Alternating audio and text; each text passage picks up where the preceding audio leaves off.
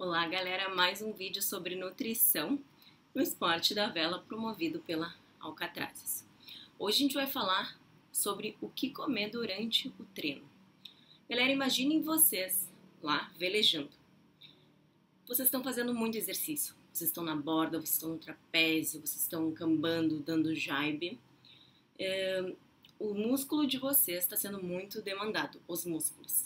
Além disso, vocês também têm um processo mental acontecendo. Então, vocês têm que ter um raciocínio rápido e isso exige energia do cérebro de vocês.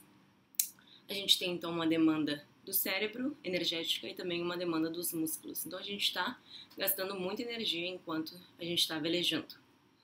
É importante que vocês se alimentem. A melhor fonte de energia, a fonte que o corpo de vocês consegue utilizar melhor energia, são os carboidratos.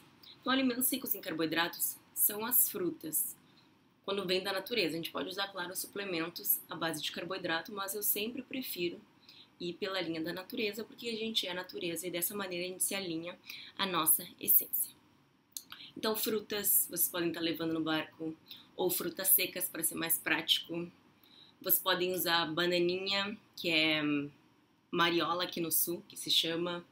Vocês podem estar utilizando todo tipo de frutas secas, como damasco, tâmaras, ameixa. Todas essas frutas são maravilhosas para vocês repor a energia que vocês estão utilizando durante o velejo.